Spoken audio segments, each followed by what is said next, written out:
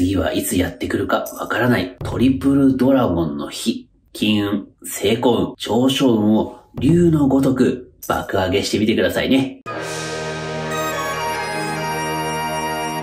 運が覚醒する金運上昇チャンネルの相模です。金運年間7番部突破券、初年購入キャンペーンやっております。購入したレシートでご応募いただくと、財運が上がるご符をプレゼントします。詳しくは概要欄をチェックしてみてくださいね。さて、10月1日に大大大吉日のトリプルドラゴンの日がやってきます。ドラゴンの日だけでも、竜神様の金運、上昇運、成功運を授かり、人生を一気に変えるようなチャンスや出来事などの変化が訪れる大吉日なんですが、そんなドラゴンが3つ重なるというのはどんなことになってしまうのか、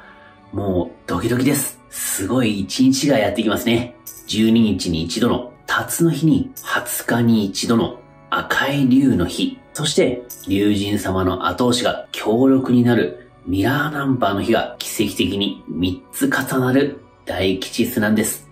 今年はトリプルドラゴンの日は10月1日が最後ですので、すごく貴重な一日になります。竜のご加護を得た方は、竜のごとく上昇し、瞬く間に収入やステージを変えて活躍する。そんなご利益に授かれる方が多いですから、夢や目標がある方、金運を上げたい方、仕事で成功したい方には、すごくおすすめの吉日になります。そんな10月1日のトリプルドラゴンの日の運気と最高潮に運が良くなる過ごし方についてお伝えしたいと思います。まずはじめに、友人とのつながり、場を極める、ティーン社の音から始めていきましょう。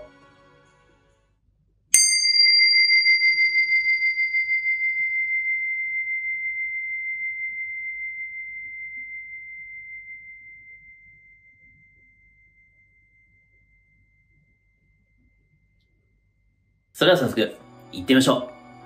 う。トリプルドラゴンの日の運気から見ていきます。辰の日は12日に一度やってくる金運、成功運、上昇運など、竜神様のご加護を得られる吉日です。前歴では20日に一度巡ってくる赤い竜という竜に関する吉日。そして10月1日のような数字が101と鏡に映したような反転する日をミラーナンバーと言います。他にも12月21日など1221と真ん中の数字で反転するものもミラーナンバーの日となります。ミラーナンバーの日は、竜神様のご加護が入る日で、竜神様の後押しを受けて、いつも以上に運気が急上昇しやすい日なんです。竜神様の後押しが入る日にちょうど辰の日、そして前歴でも竜の日が重なるというのは、まずない組み合わせですので、1日は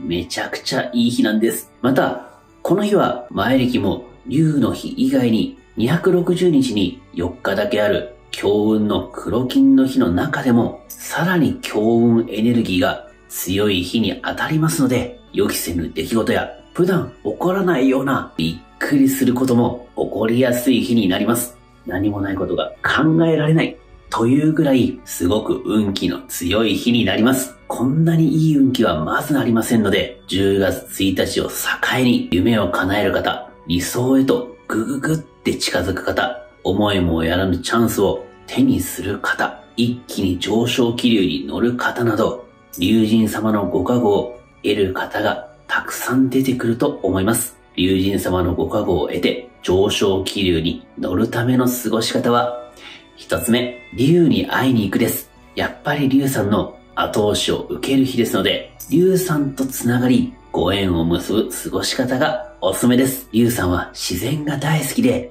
自然あふれる波動が高いところにいるんですが、1日には12直の危う部が入っていて、山や川、海など危険を伴うところへのお出かけが避けた方がいい日になります。ですので、1日は自然がある公園、波動が高い神社などがいいです。自然ではないんですけど、東京タワーみたいな高いところも好きですし、ガラス張りのビルなんかも好きですので、都会ではそういったところに行くのもいい日ですね。ゆうさんが好きなところに出かけて波動が高い場所で吉日のいい空気を吸うことは運気を高めてくれますし、呼吸を整えたら、竜さんに意識を向けて、少し竜さんのことを考えてみるといいですよ。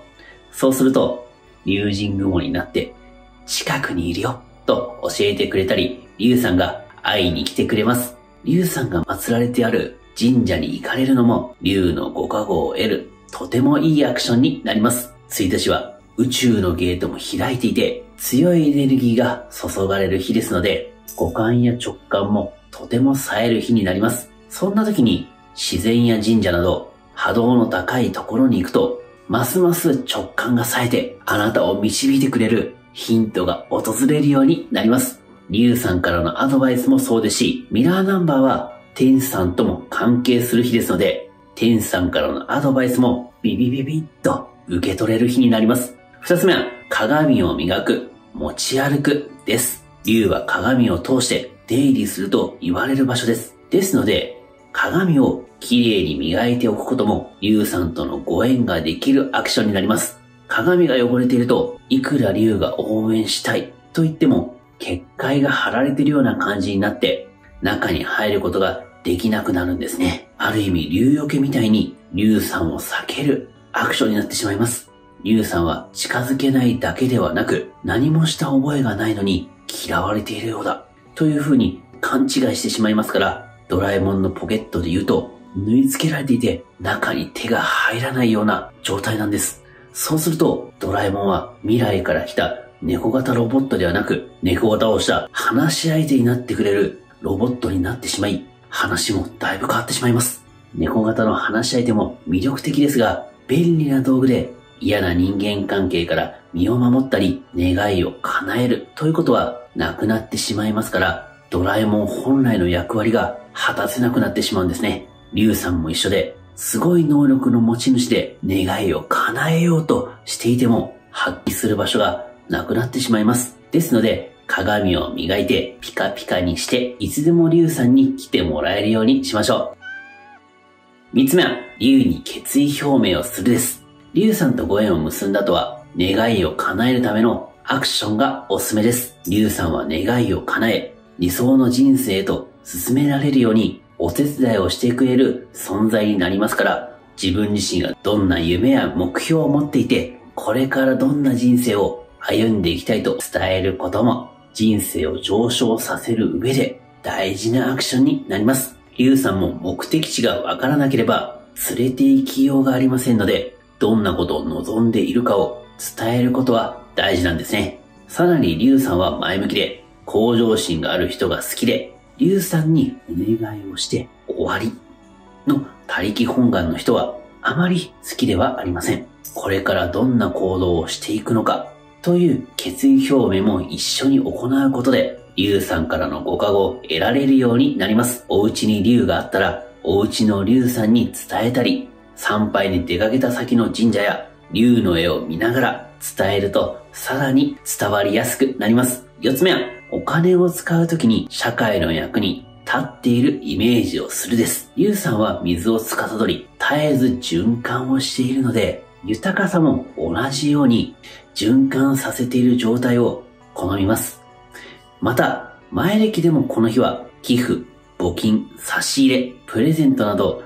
直接誰かのためにお金を使うこともいい日です。普段のお買い物をするときに社会の役に立っていることをイメージしながら使うことも金運を巡らせるアクションになります。ご飯を食べに行ったら飲食店の人たちの給料がこれで出るんだなとか農家さんが美味しいご飯が食べられるんだなとかお金を使った時に社会にどんな役に立っているのかをイメージしながらお金を使うことが豊かさの流れを連れてきてくれます。四つ目は、美味しいご飯を食べるです。この日は前歴で、美味しいご飯を食べると、いい運気がやってくる日です。すごく嬉しい運気ですよね。ですので、好きなものを食べて、幸せだなって思うことがいい日なんですが、さらに運気を高めるには、体にいいものや健康にいい食材など意識するといい日になります。トリプルドラゴンの日になりますので、金運を高めてくれる食材はリュウさんが大好きな梨を食べることです。お家にリュウさんがいる方は、お供えをすると喜ばれますよ。次はいつやってくるかわからないトリプルドラゴンの日ですから、いいなと思うアクションがあったら、金運、成功運、上昇運を竜のごとく爆上げしてみてくださいね。今日の動画になって思ったらグッドボタン、そしてチャンネル登録をお願いします。また、動画の冒頭のピンシャや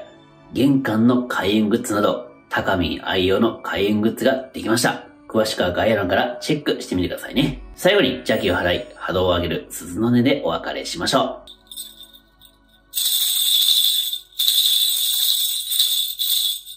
それでは明日の動画でお会いしましょう。